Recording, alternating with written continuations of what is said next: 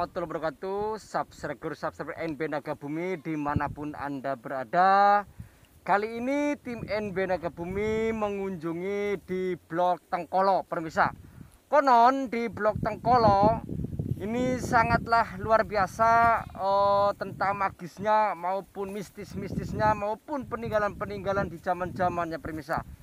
Sehingga hingga sekarang ini uh, Blok Tengkolo itu masih dikenal uh, oleh masyarakat dan sekitarnya permisa. Seperti apakah depresi-depresi NB Naga Bumi yang ada di Tengkolo permisa?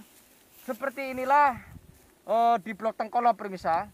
Ya, sehingga Blok Tengkolo itu ternyata itu sangat luas permisa. Sangat luas sekali sehingga kita tidak bisa untuk menjangkau Oh, keluasan blok Tengkolo permisa. Seperti apa Tengkolo ternyata segini permisa. Kita ikutin ke sini. Hamparan eh, yang sangat luas sehingga apa? Sehingga para penggembala-penggembala kambing ya sangat eh, riang sekali ya untuk mencari apa tuh namanya rumput ya untuk mencari rumput di blok Tengkolo permisa.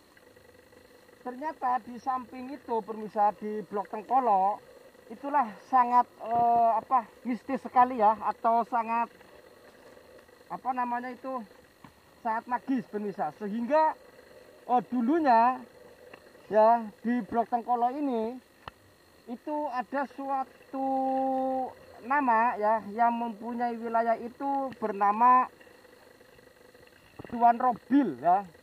Tuan Robal ya, Tuan Robal, Tuan Robil Tuan Robal ternyata permisa ya. Yang mempunyai wilayah di daratan Blok Tengkolo permisa. Dan saya sendiri oh, akan coba melihat ya di daratan sini permisa.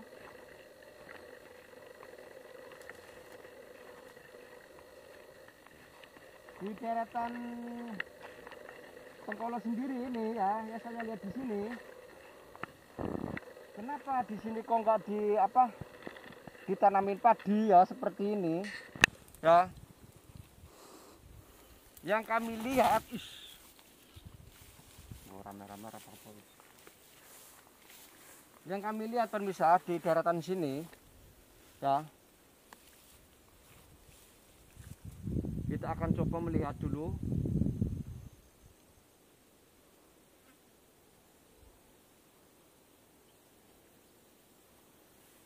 yang kami tangkap di daerah eh, daerah sini ya atau blok Tengkolo juga di sini dihuni oleh eh, hewan ya hewan tapi sosoknya itu besar ya tinggi ya tinggi besar itu hewan ya bukan makhluk eh, apa bukan tapi hewan ya di sini ya permisa. Ada ada hewan ya dia berkepala seperti manusia ya hewan berkepala manusia di sini permisa. Ya. Kita naik ke sini lagi.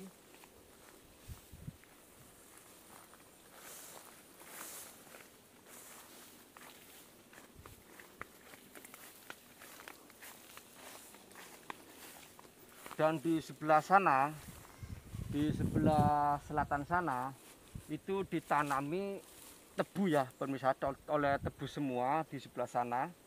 Dan juga hamparan-hamparan yang ada di sebelah uh, selatan sana itu ada hewan juga ya. Hewan itu seperti gajah pemirsa ya di blok tengkolok. Seperti gajah di sebelah sana ya. Tapi kalau di sini di sebelah sini sendiri itu sosoknya itu hewan berkepala manusia.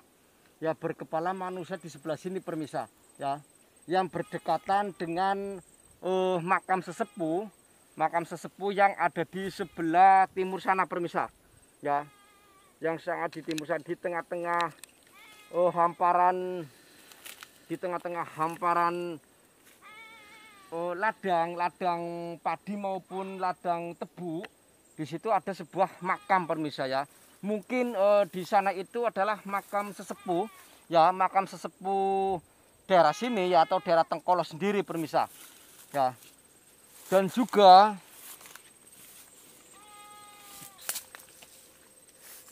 dulu-dulunya permisa di daerah Tengkolo seperti ini ya oh, itu ada yang menceritakan ada yang menceritakan tentang oh, dulunya asal muasal dari Tengkolo permisa sebelum oh, itu dinamakan Tengkolo itu adalah ada sebuah tuan oh, robil ya robal ya ada sebuah oh, tuan robal yang mendiami di sini ya atau yang mempunyai wilayah di sini itu sebelum itu dinamakan Tengkolo permisa.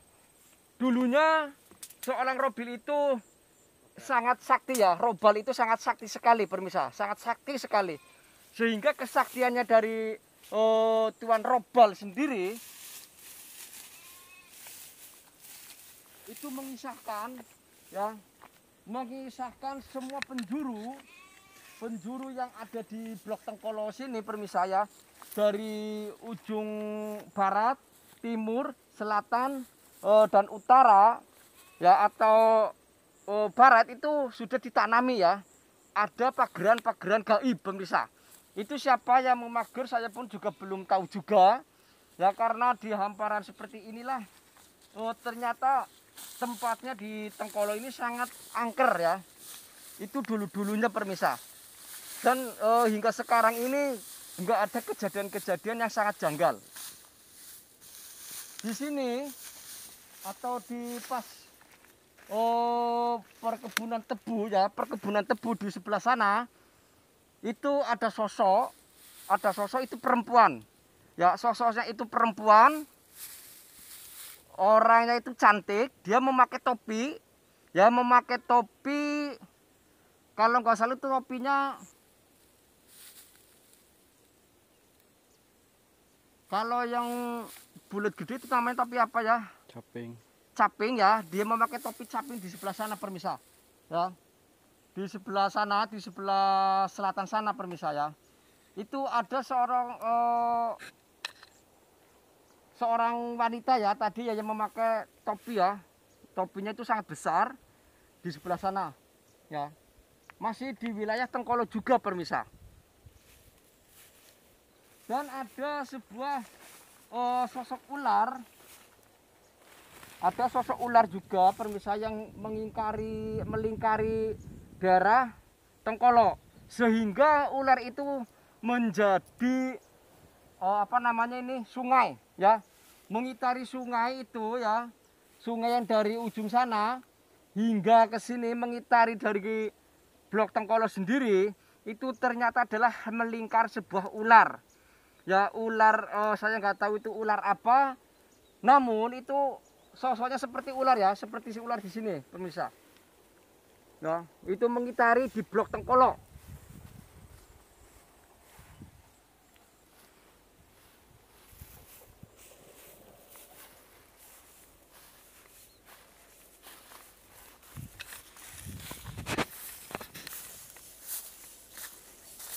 Oh, di Bulu.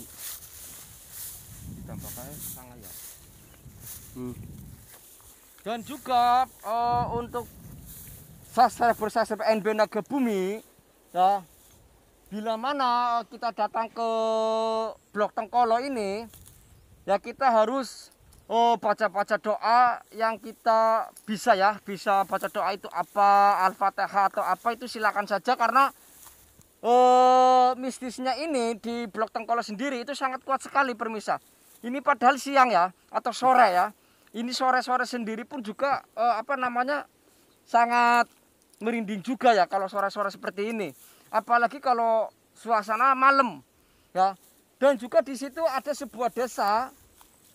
Desa itu namanya apa dulunya ya yang eh, sedikit Desa Pentet ya. Pedet. Pedet ya, Desa Pedet ya di daerah sana permisa.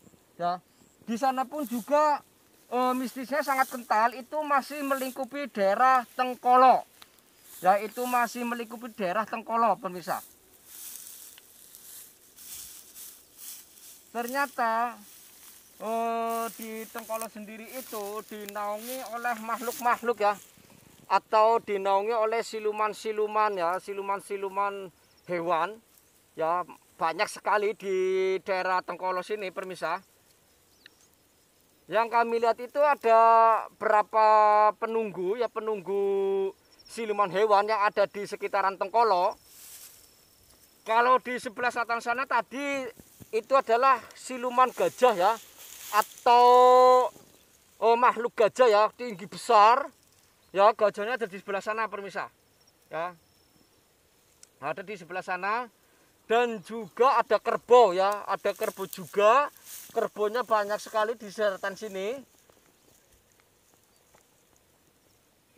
Dan juga ada uh, hewan berkepala manusia ada tadi di sebelah sini ya permisa ya. Yang ada segurumbulan apa namanya itu? Pohon ya pohon yang enggak ditanami padi ya di sebelah sini permisa mungkin eh, kata dari petani-petani tadi yang sudah mengatakan kepada tim NB Naga Bumi katanya di sini itu ada kejanggalan-kejanggalan yang eh, di luar nalar permisa seperti kalau ada eh, apa namanya itu perkebunan tebu sedang panen kalau jam 12 itu atau jam setengah 12 itu tidak istirahat ya itu pasti akan uh, diselambar atau akan menemui seorang putri ya yang tadi itu yang memakai topi ya yang memakai topi apa namanya itu caping ya yang sangat besar di sana permisa. Sebetulnya apa sih itu nama tengkolo saya pun juga belum tahu e, benar itu tengkolo apa dan seperti apa? Yang e, dari tim NB Naga Bumi yang tahu itu tengkolok ya. Tengkolok itu adalah sebuah penutup ya, penutup atau topi ya, atau penutup kepala ya, atau penutup kepala pemirsa.